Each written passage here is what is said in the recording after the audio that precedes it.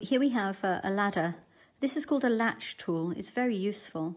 Um, and I'm going to take a loop that's not dropped, turn the latch under the thread that is, and pull it back.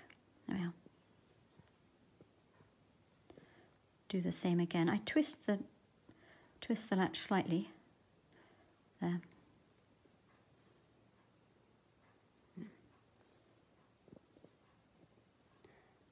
And this is the last, second to last one. And stitch it back in now.